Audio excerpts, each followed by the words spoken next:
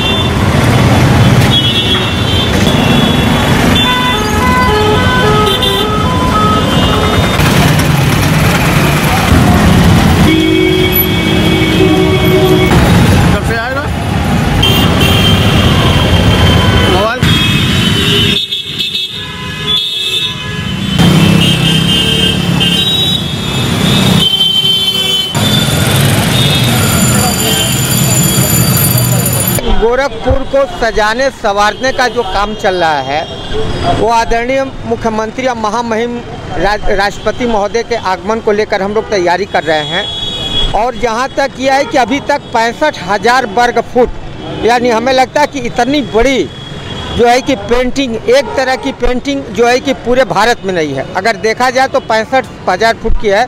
वो आज नहीं, कल वर्ल्ड ऑफ़ रिकॉर्ड के लिए वो एक तरह की तैयारी हम लोगों की है।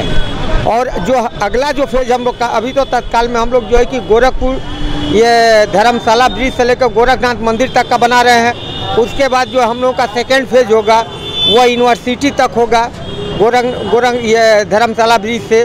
जो तीसरा हम लोगों का फ़ेज़ होगा वह एयरपोर्ट से लेकर के जो है कि हम ला कर के यहाँ खड़ा करेंगे। कि हमें लगता है कि अगर आप महा, मुहिम के जाने के बाद एक इतिहास लिखा जाने वाला जो है, उसमें हम लोगों का योगदान कहीं न कहीं दिखाई देगा। वो लगभग जो है कि 50 से पैंसठ हज़ार, साठ से पैंसठ हज़ार वर्ग फीट पे काम हो रहा है इस समय। महामहिम के आने से पहले हमारी कोशिश है, क्योंकि अभी 50 लोगों की टीम लगी है, कुछ आर्थिक अभाव हैं, जिसकी वजह से थोड़ा काम हम ये कर रहे हैं। लेकिन हमारी कोशिश है कि उसको भी हम पूरा करें। कुछ यहाँ जो सही, यहाँ जन सहयोग के लिए लोग निकल कर आए हैं, कुछ यहाँ व्यापारिक संगठन कुछ लोग हमारे पास खड़े हैं आज। और शासन का भी जो है कि एकदम बहुत बड़ा योगदान रहा है। और यहाँ जो है कि माननीय जिलाधिकारी महोदय का मैं कोट कोटि धन्यवाद देना चाहूँगा। माननीय कमिश्नर जी को मैं कोटि कोट धन्यवाद देना चाहूँगा कि इन्होंने जितनी तत्परता से जो मेरे साथ खड़े खड़े रह करके आशीर्वाद स्वरूप उन्होंने जो मेरे लिए किया है वो शायद कभी नहीं को, कोई नहीं कर सकता। है